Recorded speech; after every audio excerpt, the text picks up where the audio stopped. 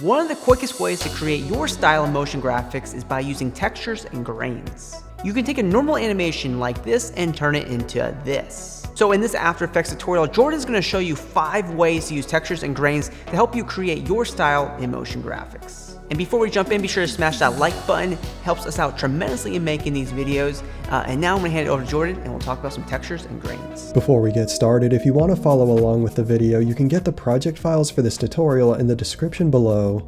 So the first thing we're going to do is import our textures and create a sequence of textures to overlay on our background layer for this paper effect. So the first thing we're going to do is import an image sequence into After Effects to use as our background. Here we have our folder labeled paper texture and inside we have four images.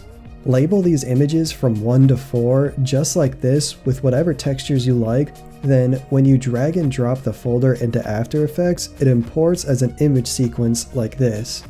And once that's done, the first one we're going to use is this paper texture sequence.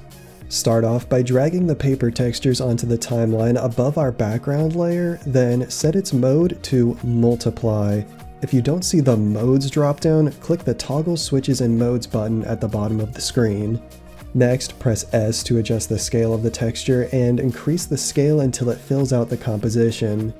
So as it is now, this texture sequence is 4 frames long, one frame for each image. What we want to do is stretch that out, so right click it, select time, enable time remapping, then drag out the layers so that it fills out more of the timeline.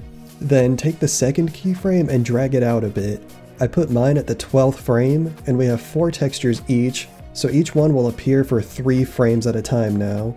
Next, hold down the Alt key and click the stopwatch for time remap and type in loop out with a capital O, open parentheses, close parentheses.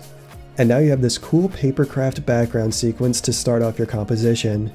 Next, we're going to add an adjustment layer to apply a noise effect over our whole composition. Start by going to Layer, New, Adjustment Layer.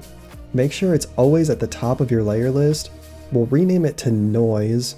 Highlight it, then go up to Effect, Noise and Grain, Noise HLS.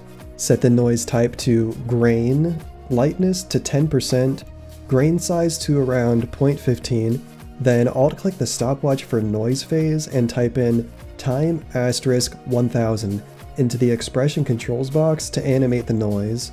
Now you can see our composition has this rough grain static over it that adds even more texture to all of our different layers.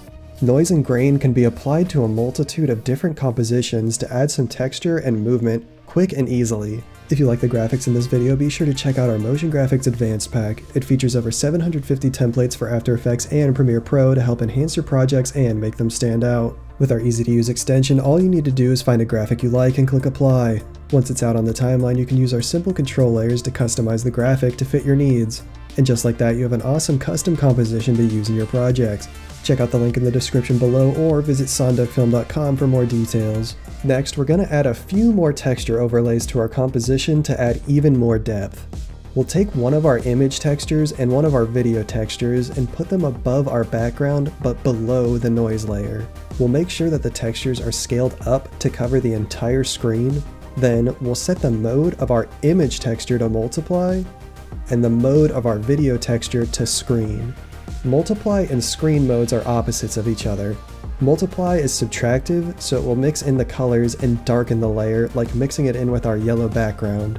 And screen is additive, so it mixes in the light colors that way we can see the white particles of the video texture over the composition. Next, we're going to apply a texture to our text layer, and this is super simple. All we need to do is put a texture layer above the text layer, we're to scale it down so it's just a bit bigger than the text vertically, then go up to Effect, Stylize, Motion Tile. Increase the output width until it covers the whole title, enable mirror edges, then set the track matte for the text layer to Luma Inverted Matte. You can also just increase the size of the texture layer so that it covers the whole title, but using Motion Tile to extend it allows the finer details of the texture layer to be seen and now our text layer has its own unique texture separate from the background. The final thing we'll do is add a rough grain to a shape layer for us to add around the composition.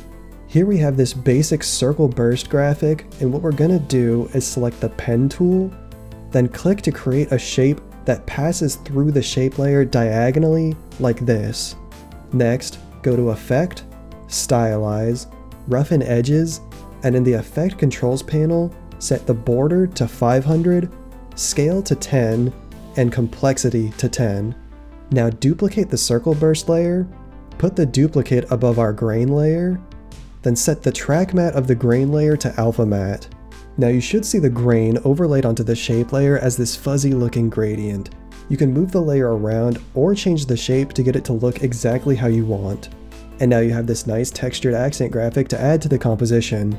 With all of these techniques combined, you have this awesome multi-textured composition using a few really simple techniques.